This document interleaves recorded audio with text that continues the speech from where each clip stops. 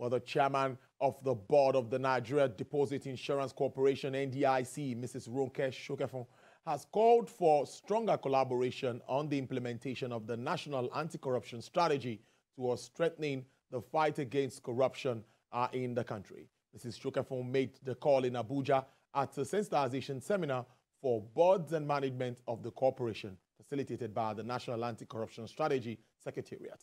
Blessed Omonose reports.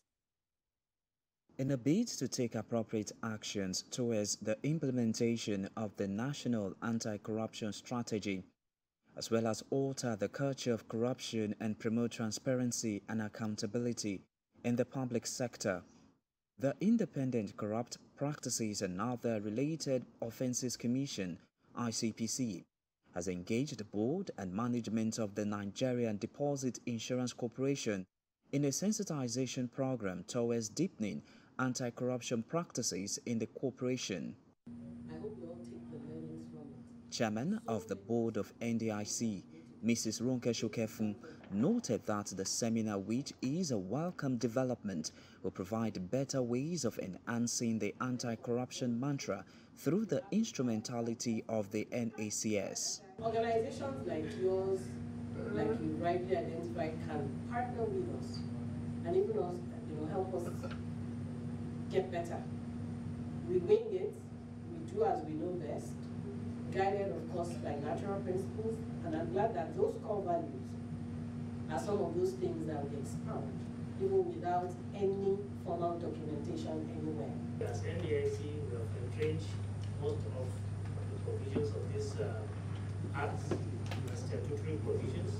We have constitutional framework within which we deal with them, but from time to time we are actually expected to sensitized and of course to drill down uh, the issues uh, to staff, all members of the NDIC, uh, NDIC family.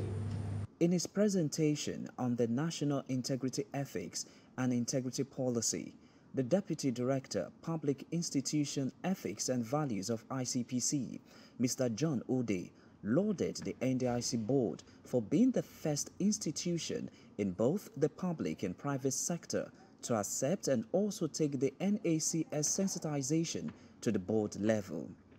My purpose here this afternoon is to appeal to the board of the NDIC to take ownership of the National Ethics and Integrity Policy and to mainstream it into its code of ethics and corporate governance. With this move by the NDIC, there is no doubt that the implementation of this commitment will lead to potential impact on the anti-corruption efforts of the ICPC.